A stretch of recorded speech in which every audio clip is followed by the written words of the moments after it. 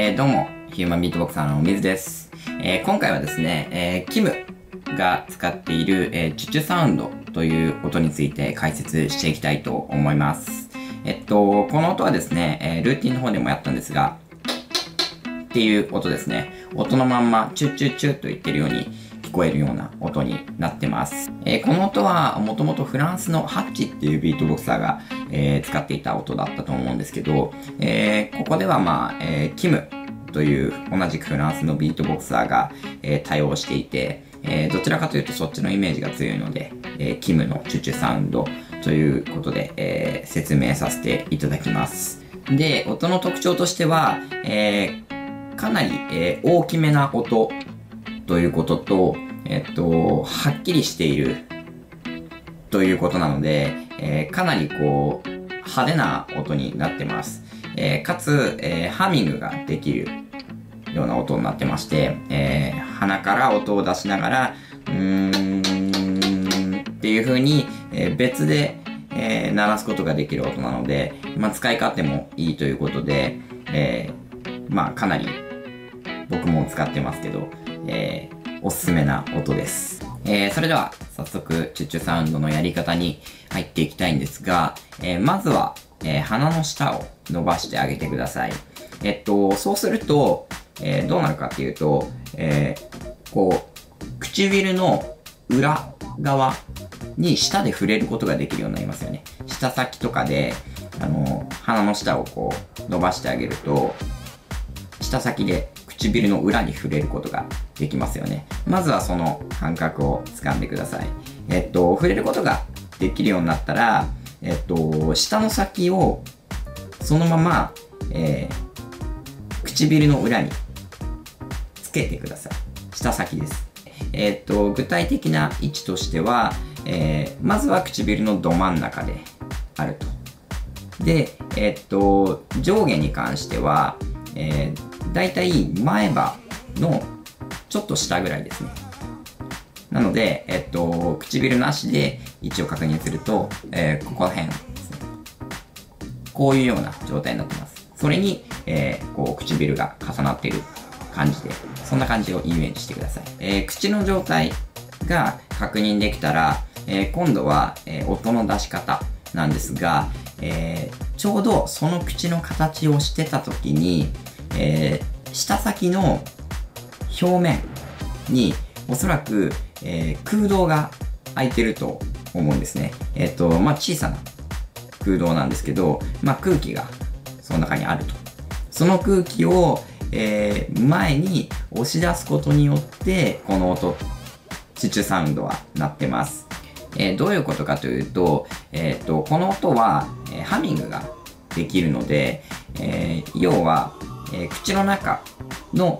空気だけで音を出してるってことになります。お腹から空気を出しちゃうと、えー同時にハミングをすることができないので、えーこの音がハミングができるってことは、えー口の中の空気だけで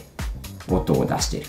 で、え具体的にチチュサウンドの場合は、え先ほど説明した口の状態、口の形で、えー舌先、舌の表面に、えー空気の空洞があると思うんで、その空気を、えー前に押し出す。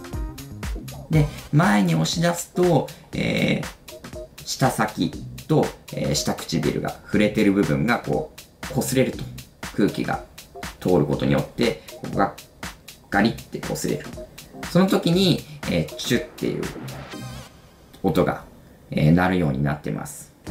えっ、と、説明が難しいんですが、えーポイントとしては、口の中の空気だけを使うこと。で、チュチュサウンドの場合は、えー舌の表面にある、え空気を押し出してあげることで、え舌先と、え、唇の裏、上唇の裏が、えー、こう、擦れる。空気によって、擦れることによって音が鳴ってる。という2つを、えー、押さえてもらえれば、えー、あとは練習次第で、えー、音の感覚はつかめると思うので、え練習してみてください。ええっと、音の感覚をつかんだところで、えっと、多分連打の部分で、つまずいちゃうと思うんですけど、えっ、ー、と、連打に関しては、えー、本当にただこう練習あるのみです。えー、チュっていう音をただチュチュチュって言ってるだけなので、えー、本当にただこう練習して連打ができるように、えー、感覚をつかんでいくしかないです。で、えー、裏技ではないんですが、えー、以前僕の方の講座で、え、紹介させていただいたロビートスネアっていう音があるんですけど、っていう音なんですけど、え、これがもしできる人であれば、え、ロビートスネアとチュチュサウンドの、え、音の出す原理っていうのは一緒で、え、要はロビートスネアは、えー、鼻の下を伸ばして、えー、下の表面をこすってると。下のひらをこすってる。に対して、チュチュサウンドは、えー、下先だけをこすってる。また、ロビートスネアっていうのは、え、肺から空気を出すことによって威力を出しているんですが、えー、チュチュサウンドの場合は口の中の空気だけで完結させてるという音になってて、とても、えー、違いはあるんですが、似た原理の音になっているので、もしロビートスネアができる方は、えー、先ほど言ったように、え比較をして、えチュチュサウンドっていうものを、えやっていけばすぐ習得できると思うので、えー、ぜひ試してみてください。